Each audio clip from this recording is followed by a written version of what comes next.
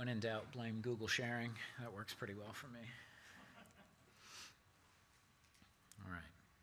So, welcome again. Awesome. Project Browser on the road to core. We are getting very close to uh, getting Project Browser towards a, a merge request into core, but there's still quite a bit to do. Um, and we'll talk a little bit about that. Who are we? My name is Chris Wells. Uh, you can find me on pretty much everywhere as Chris from Redfin. Um, and Chris from Redfin.dev, you can find me links to all the, all the socials and all the things you need. And this is Aaron Winborn Award winner Leslie Glynn. She hates when I do that, so I do it all the time. Uh, we're both from Redfin Solutions. We're based in the other Portland, Portland, Maine. Um, and we are the co initiative leads for Project Browser. So we'll start at the beginning. What is Project Browser?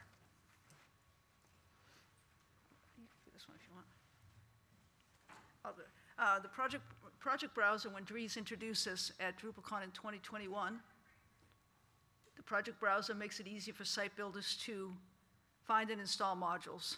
N- The year after, he said, find and install modules with, with a click of a button, so automatically install it. So that is what we've been working towards.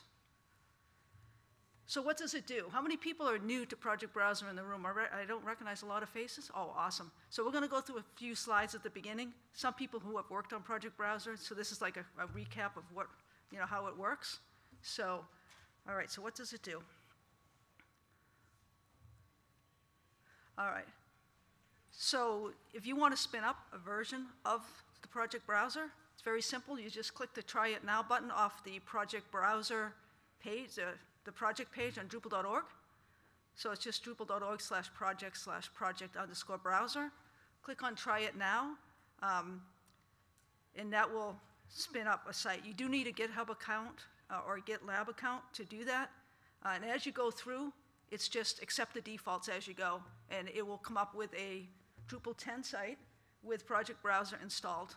Um, and that way you can look at it and, you know, give us feedback, check things out, and help us work on it on Contrib Day. Ooh, look at that. I felt the power from over here. One thing I want to add to that is it does say that the current release is beta 5. When you use that try it now button, though, it is using 1.0.x head. So it, you're getting the latest and greatest when you hit that try it now button. Yep. All right, so that's how you spin it up. Now, how do you find it?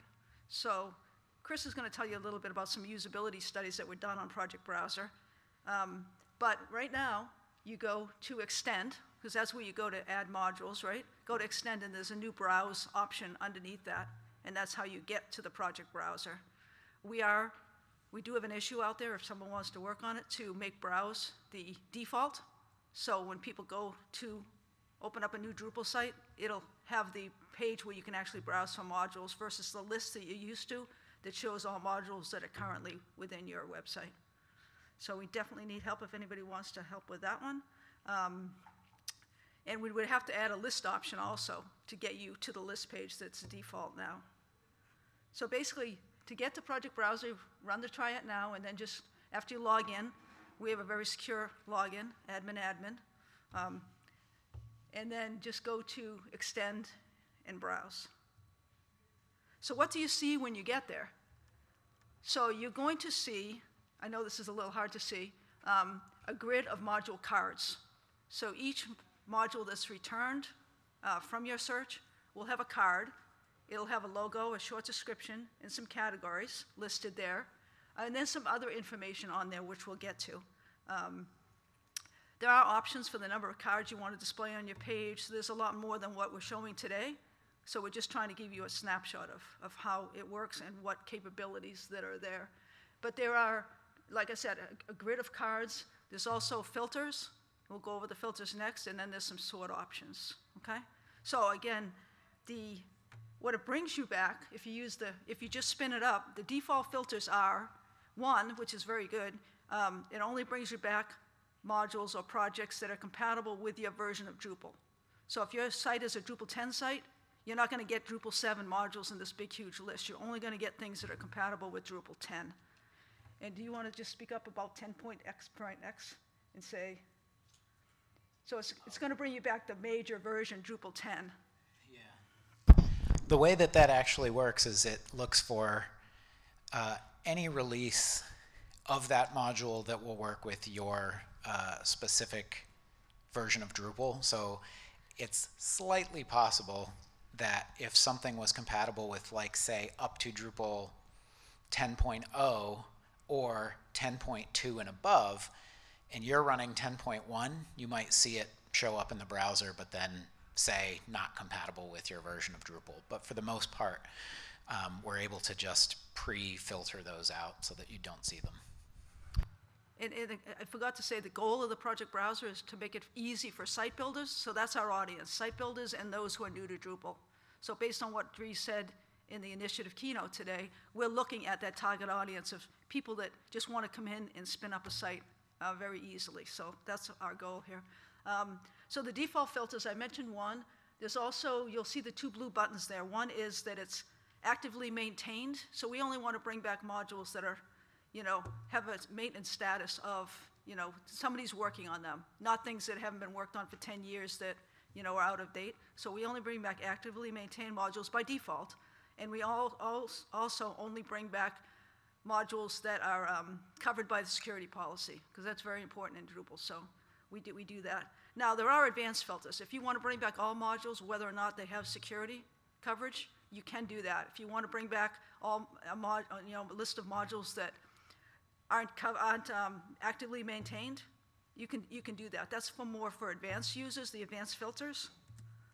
But um, the defaults will get you what you need, okay? And it also displays the categories, which we'll get to in a minute. So the categories, um, there were 55 categories when we started this project on Drupal.org. So when somebody go, went to create a project, they got to select categories. There's actually one that was added last week or the week before that had 51 categories selected for it. So we've reduced that to maximum of three categories.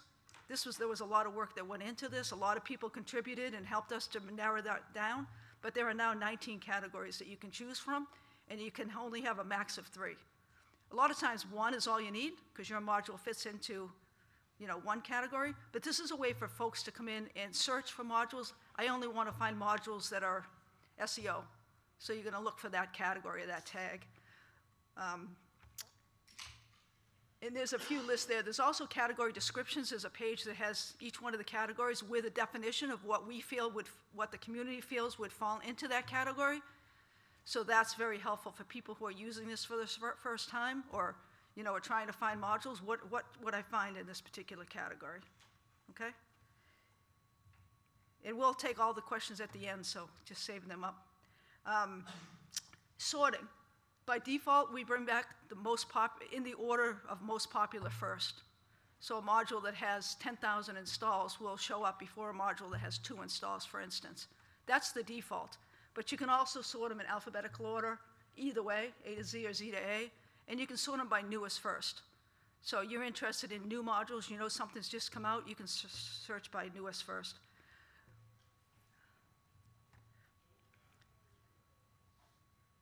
Okay, so on the bottom right, you'll see that blue button, and you can't read it too well from probably without having these slides, but the, um, the options are, it's already installed, so it'll say installed if it's already been installed, right? If it hasn't even been put into your code base yet, there'll be an add and install option, which says add it to the code base and install it. But if it's already been added, they'll just be an install. So those are automatic, those buttons. What, what allows you, what you're allowed to do is based on the status of your modules that you have in the code base. That's all done through the uh, automatic updates and um, package manager those other initiatives have really helped a lot in, in terms of be, allowing people, instead of having to go to um, a browser window and saying, you know, Drupal require or whatever to get a module, you can now install modules right from this browser, which is, again, in line with what Dries was talking about today. All right, so the default is a grid view, as I showed you, the square card with information on it. You can also view a list view, so the list view has the same information on it as the card view, but you can see you know, more. It's more compact than the card view. But it has a logo, short description, the categories, and then some of the options.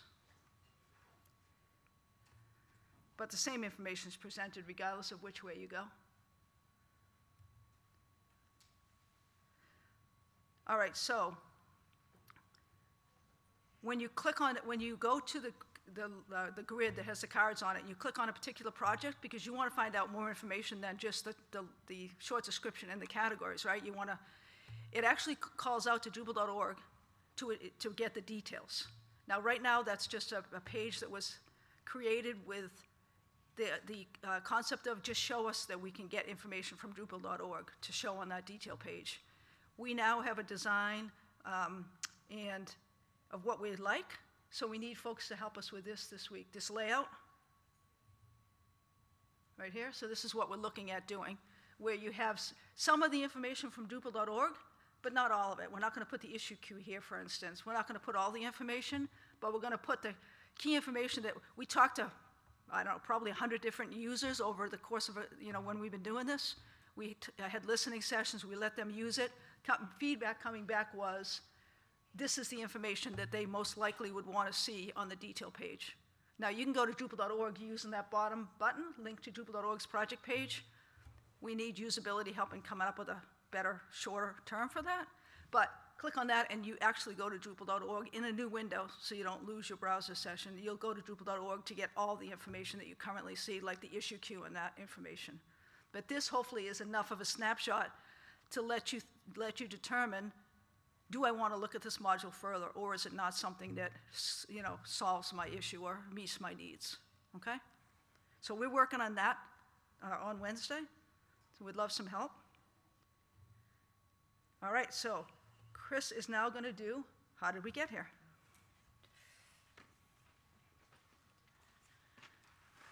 So there's um, a lot of work that went into getting, you know, to this point.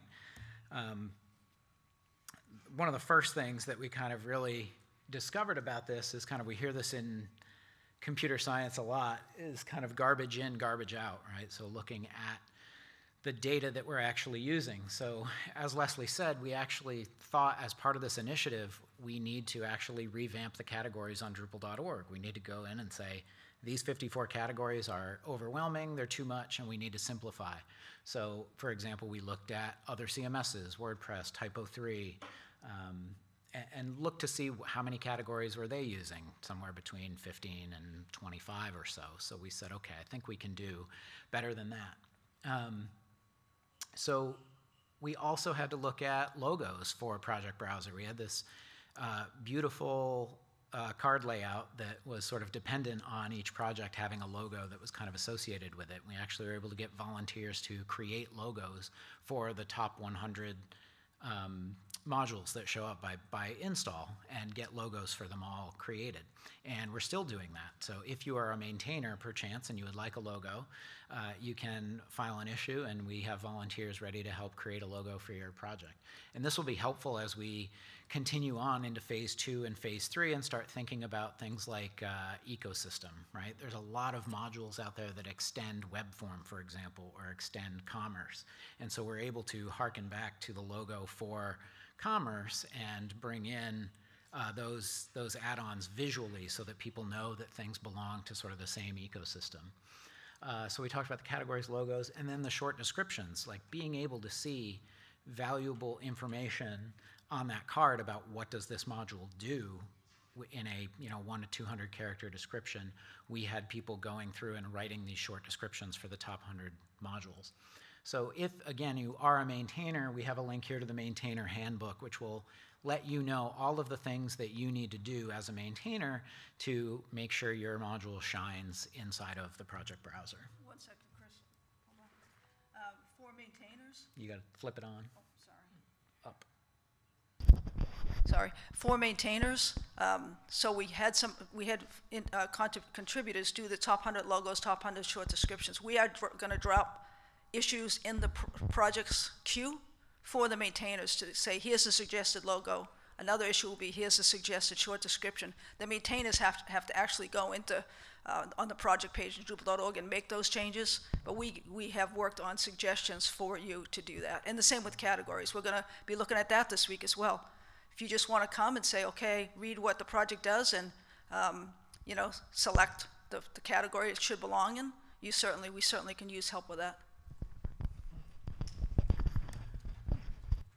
Another thing that was super helpful to us was we were able to uh, latch on to uh, some usability studies that were being performed on a lot of this new work that was happening in Drupal. We did some real user testing uh, with our friends at the University of Minnesota and their usability lab, so we were actually able to get some real users, put this in front of them and say, is this obvious to you? Does this work for you?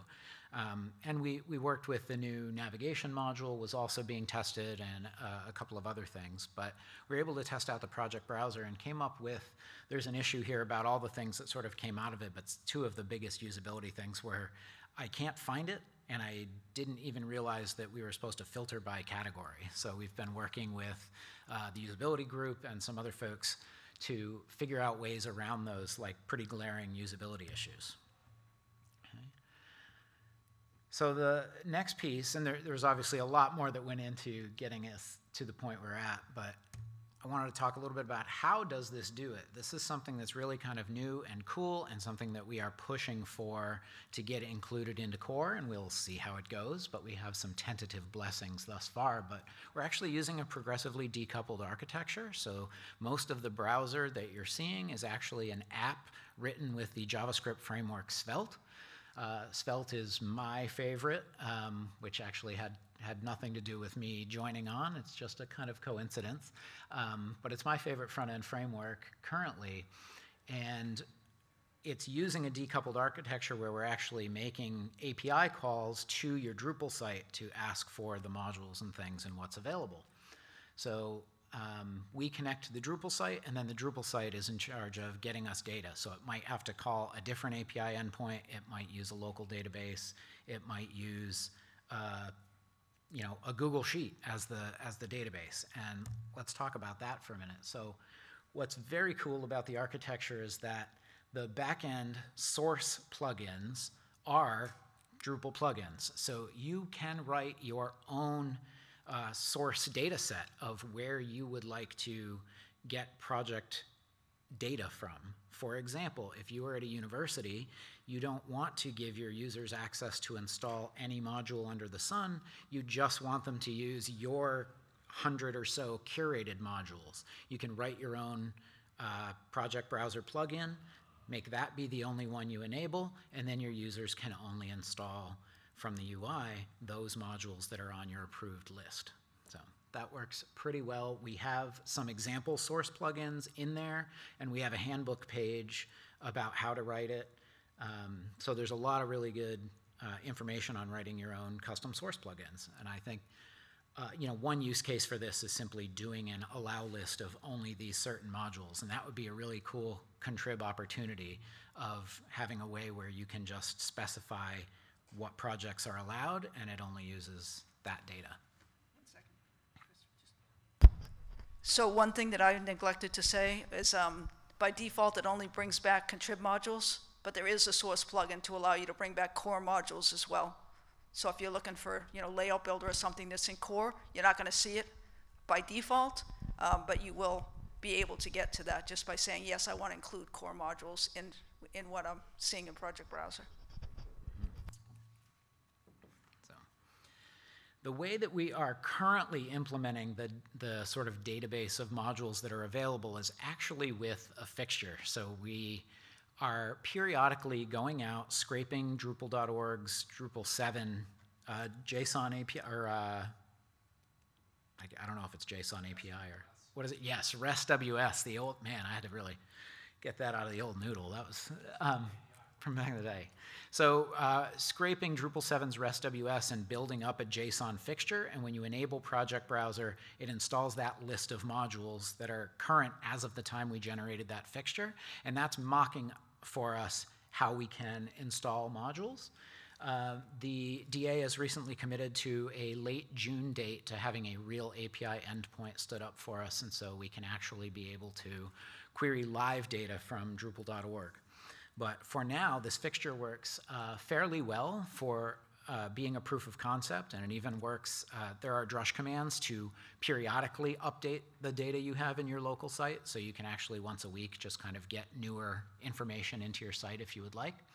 Um, and so recently, and very recently, like last week, uh, I was able to upload a fixture that now represents our new 19 categories because um, about a week and a half ago, the fixture was old enough that it was still displaying the old uh, 54, 55 categories.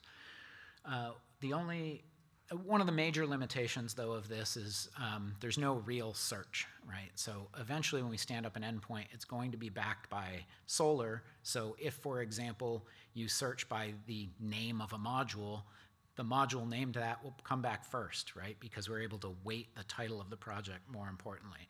Right now, our keyword search is a very dumb, like, contains. So you can search for address, but the address module won't be the first thing to come up because something else also mentions address. So um, those are sort of known limitations of using this, this fixture approach right now. So, uh, there is a configuration page for Project Browser, which is something we haven't talked a lot about. Um, in, in previous presentations, but this is where you can actually go to enable the functionality to allow installations. So that is off by default because there is a dependency on Package Manager. You have to make sure that's installed. Also, we wanted users to be able to turn it off, right? Maybe you do not want users to actually run composer commands through the UI. You want them to see what's available, but then maybe you want them to make a request to IT to actually put that module on your site. You know, maybe you just want a browsable directory, but not something actionable. So uh, it has that dependency. You must enable that functionality.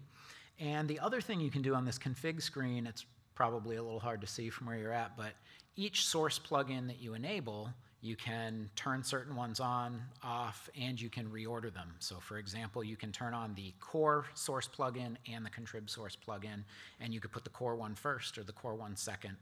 It's up to you. So there's a little bit of config associated there. Uh, are there any plans or is there any implementation currently for permissions? Like a content editor could see the marketplace but not install, but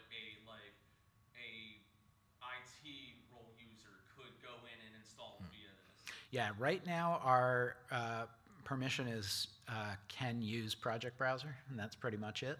Um, but I, I, anticipate that we would fraction that out a little bit so that uh, some people could add and install and others could just see.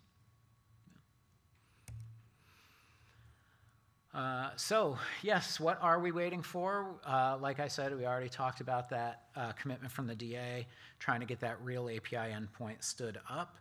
Um, and the, if I have anything to say, it's that we need to throw as many resources as we can at the DA. They are a small but mighty team, and there's always more work to do than there are people to do it. So, uh, any if if there's any one takeaway you have here, please donate to the association. Become a member if you're not a member. Whatever whatever you need to do. Um, they are doing some very heavy hitting projects right now with Keycloak and single sign on, uh, the update framework for signing for automatic updates to make sure that we are securely updating your code base. So very cool stuff happening over there.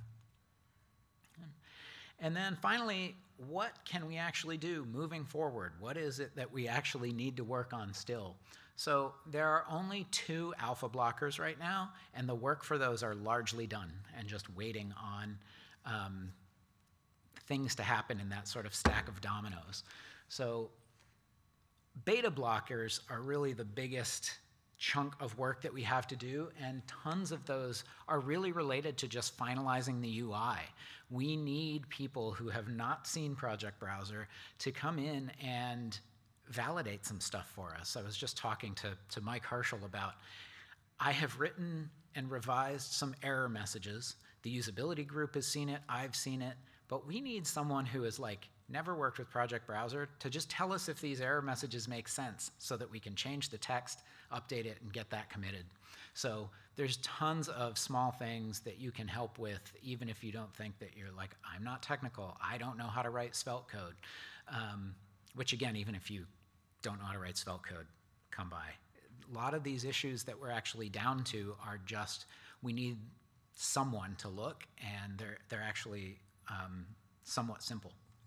Uh, for example, we kind of have an issue sampler here of, um, you know, we need some input on whether or not we should replace a wrench icon with a gear icon, if that's if that makes more sense to a user about uh, conveying our maintenance status. We have um, the idea that we should put a legend somewhere, but we don't know where to put it. We need someone with an eye for design to just say, you know, I would make it horizontal and put it right above, or I would make it a, a pop up, or I would, whatever it happens to be. So we need some feedback on those kinds of issues.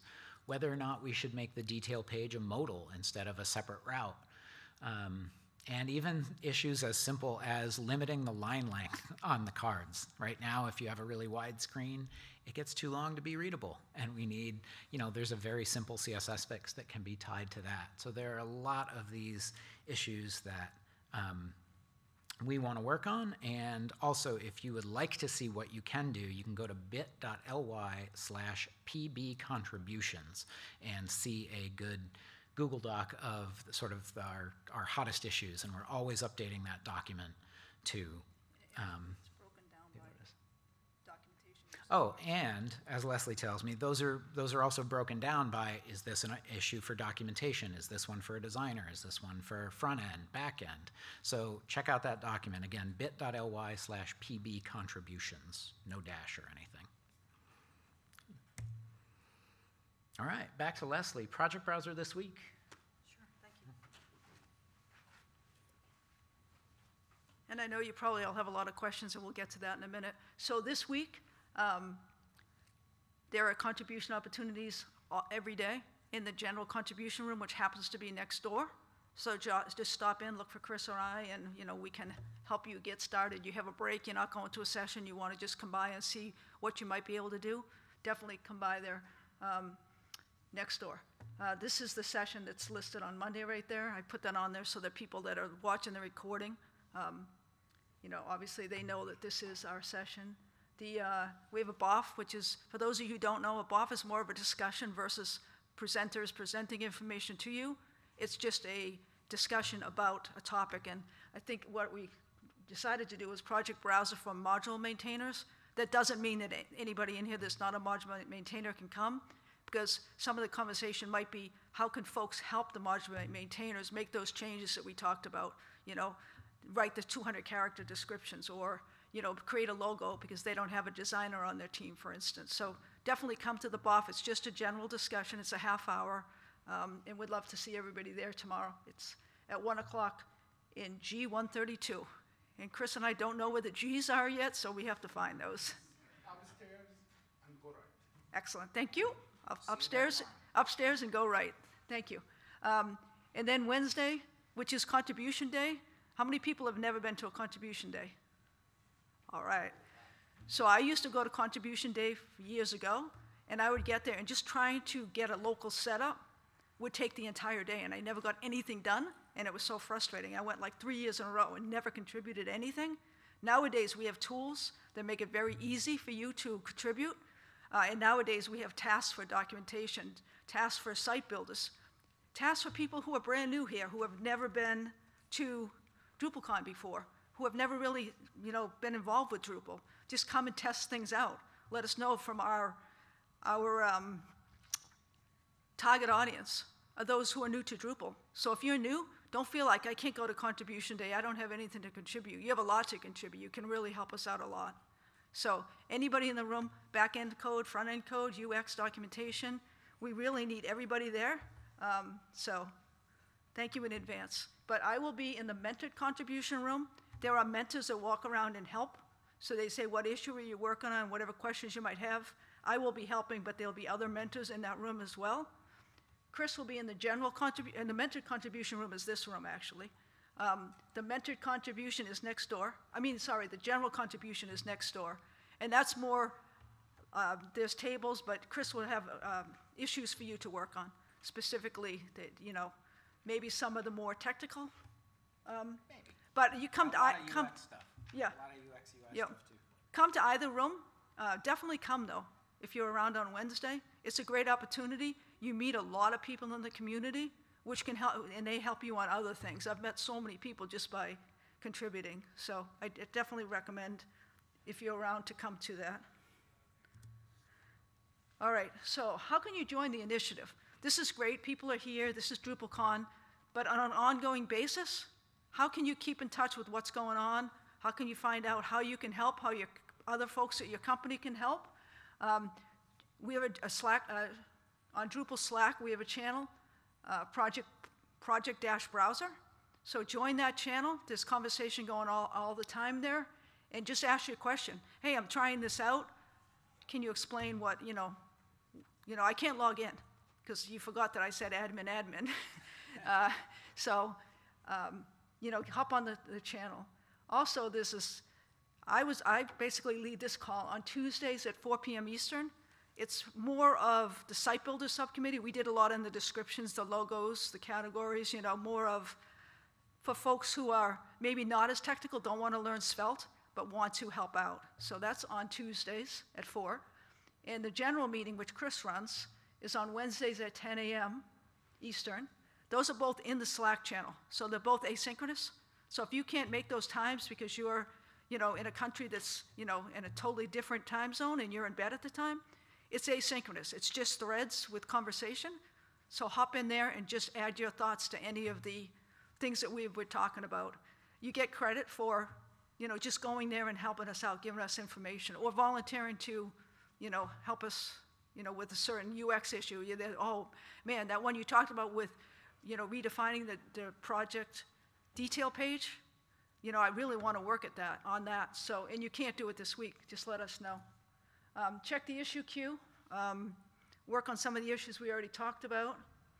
And I really want to thank everybody who contributed so far. We've probably had 100, I would say around 100 people contribute to Project Browser so far, but from designers to UX people, you know, for the logos, the descriptions. Because every, every time we go to DrupalCon or any Drupal camp, we run these uh, contributions. So don't feel like, oh, I, I can't do that. There's 100 people who have already said, yes, there's something that I can do. All right? And I just want to say thanks to all who have contributed so far. And I think that's all we have, so we're ready for Q&A. Yep. You wanna, okay, so why don't, want me to run the microphone? Can we take that out, take that off or Uh, no? No, it's just wired. Oh, but it's I- wired, I can repeat questions. Okay, so what questions do we have out there? I'm brand new to, I mean, I don't code, it. not a. You're our target audience. Ambitious site a builder. local environment, and I tried for like a couple hours and then said, that's not for me. Good. Um, uh, um, but this is like super interesting to me because I've used Dru- WordPress a lot. Okay. I'm, I'm now, we're using Drupal for our corporate site, yet to launch, but um, it's a big, big site. Um, I've used WordPress on small sites, it's super easy, You can do it without a developer. Um,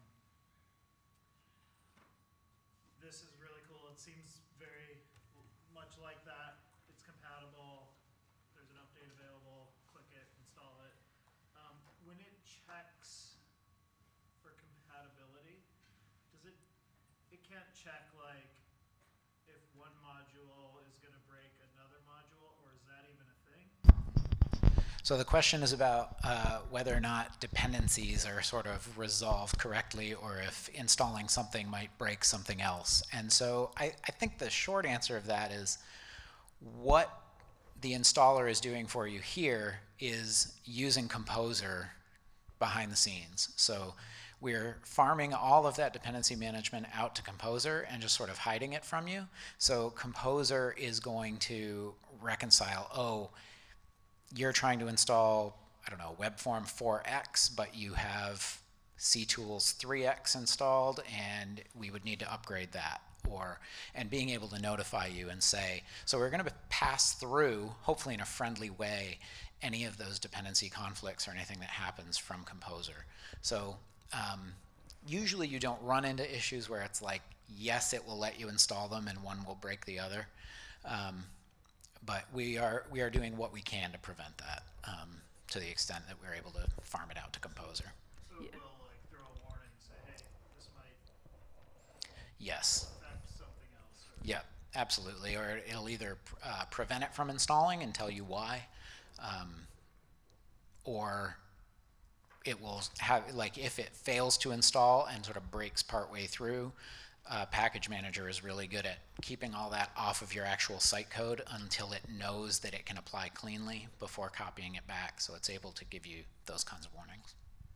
Right, And, and by default, it does install any dependent modules. So if you're installing module A and it depends on module C being there, it'll install both of those for you. Yep, it will. Yeah, good point. It will install dependencies in the same way that Composer would do that. Way down the back. You want to have him come?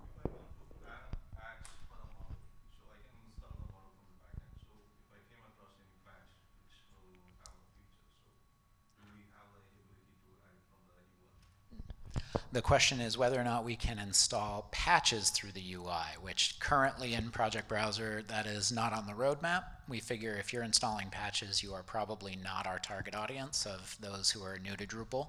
Um, so if you're installing patches with Composer patches, you're probably comfortable editing your Composer JSON yourself. So there's currently no plans to implement uh, the ability to patch things.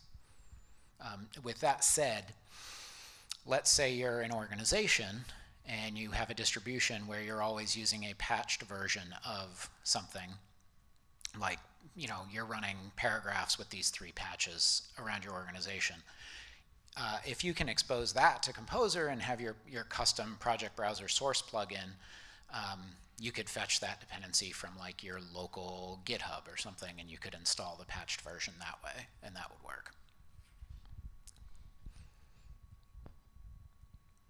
Other questions? Do you have a couple here? Um, this might be outside the scope, but I'm still trying to get my head around how this works in it for, with regard to hosting. So let's say I'm hosted on Pantheon, which requires Composer. Um, this uses Composer, so potentially you could host a site that uses this on Pantheon, assuming Pantheon gets set up for it. Is that, do I have the right universe? of- Yes, you're totally in the right spot. So the real question is about how does this actually work with hosting and, and how could it actually work? So the the one of the easiest things to think of is I'm just going to use this locally.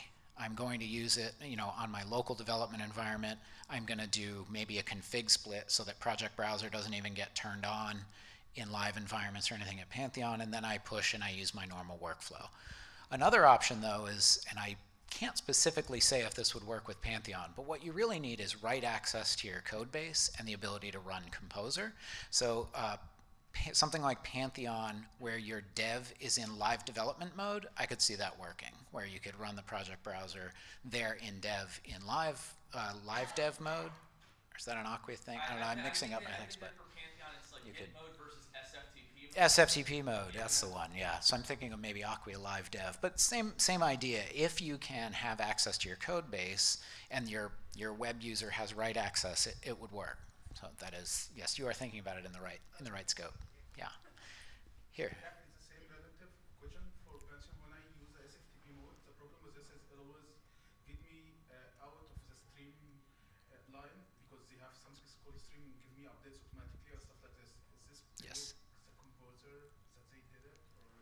Yeah, and again, this is a little bit more specific to Pantheon and, and around the issue that we, we frequently run into, which is kind of like, how would I use this as an advanced developer? You probably wouldn't, right? You, you're probably managing things yourself. But with that said, yeah, um, most of Project Browser typically is working inside of the contrib space, and most of the Pantheon upstreams are in the core space, and so there's not really conflicts there, uh, depending on what you're using for your upstream. And I think I saw a question over here. Yeah. Yeah, I, I saw one of your, the filters was development active. I didn't know what Yes. that meant or how to determine that. Yeah, so um, the question is around the filter for one of the advanced filters for development status. So there are a, a couple of fields that module maintainers have access to when they're creating a project on Drupal.org. One is that they can specify their maintenance status, and one is they can specify their development status. So there's a, a pick list where you can say this is this module is actively being developed. So like we're, we're working on it, don't even expect it to work yet, versus uh, it's in a maintenance cycle where we think it does everything it needs to do and we're just updating it. So uh, what we've actually done with both of those filters is um, taken the statuses that we think represent actively maintained or actively developed and ones that we think are not, and have sort of turned those four or five options into a Boolean. So, for example, for maintenance status, if you say actively maintained, it's actually two or three of the five possible statuses up through seeking co maintainer. Uh, we count that as actively maintained. Cool. Over here. Yeah, you talked a little bit about it, and I'm just trying to better understand it. Uh, so the Svelte app talks to uh, your Drupal instance, and the Drupal instance asks for information from D.O. And in your future utopia, you want D.O to serve you of relevant scored results, or is that work being done by the Drupal instance? Uh, that work is, uh, sorry, the question is about how does search scoring and keyword relevance play in given the fact that we're kind of doing this two hop process from the Svelte app to your local Drupal site and then your local Drupal site out to Drupal.org. So the question is like, where does the scoring happen? Is it on the the Drupal site installation or on Drupal.org. We are anticipating that that comes back from Drupal.org. So just like today, when you run a, a search on Drupal.org and you type in a keyword, it will boost that, handle that, and figure out what's most relevant. So that response will come directly back to the Drupal site and get passed down. So that's all going to be handled. Uh, and that's great because it allows us to sort of continually revise and tweak the Solr scoring algorithm on the Drupal.org side.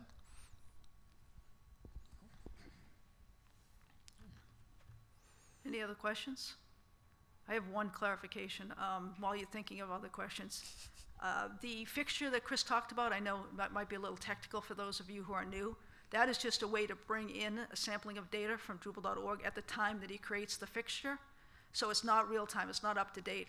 So if, you, if you're trying to test Project Browser and you say, hey, I added a new module and it's not there, or I know this module was just updated and you know, you're not showing it correctly, that's just because we don't have a, a real-time polling from Drupal.org at the time, at the current time, but eventually, by the end of June, I think is when the DA has said that they will have that real time. So when he was talking about the endpoint, that's really just pulling the data into Project Browser from, directly from Drupal.org as it stands right now versus when we created that, that group of it, uh, that data. Snapshot, yeah, point That snapshot, yeah, correct, to pull in.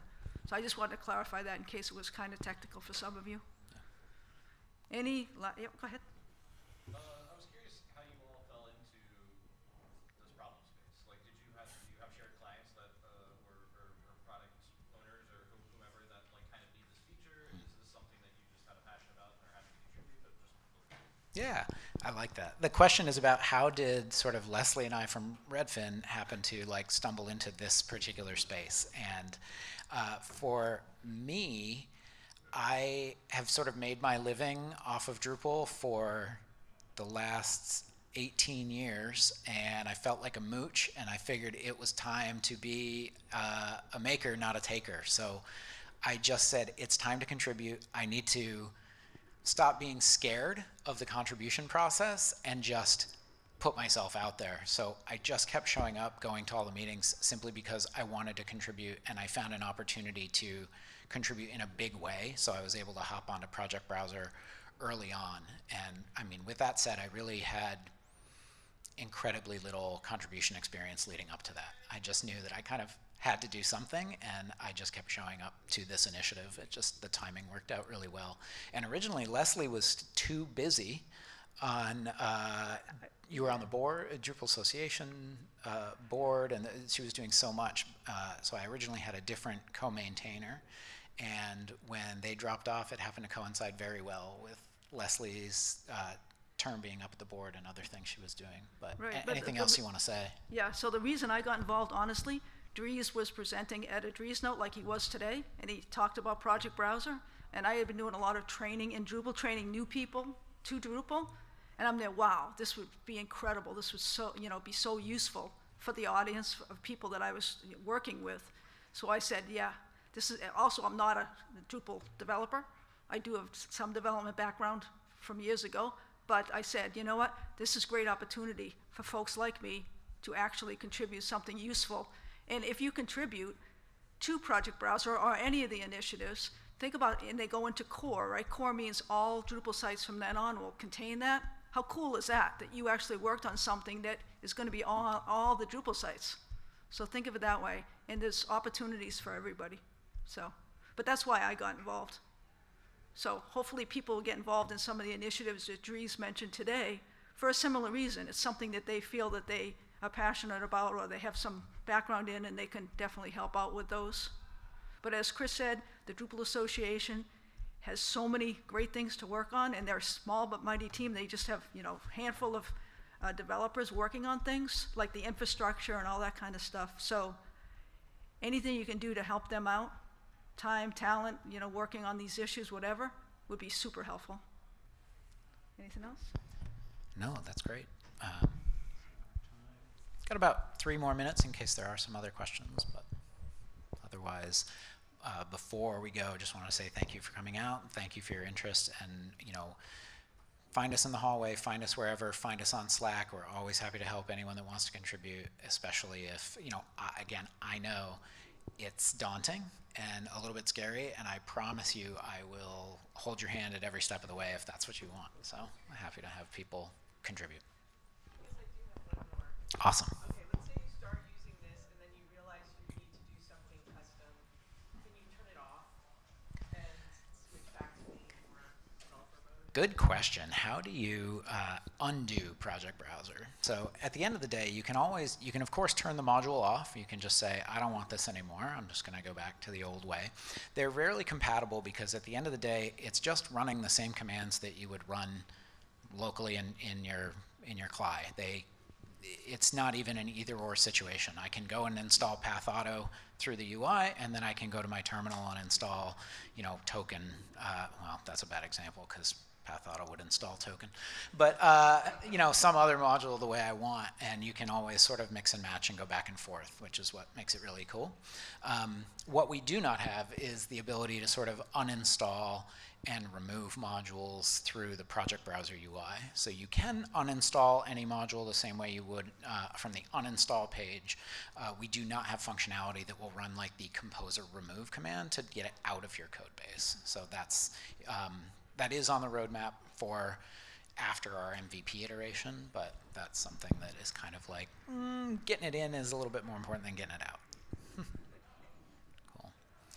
Thank you again, everyone, so yeah, much. thank you for coming and enjoy the uh, opening reception.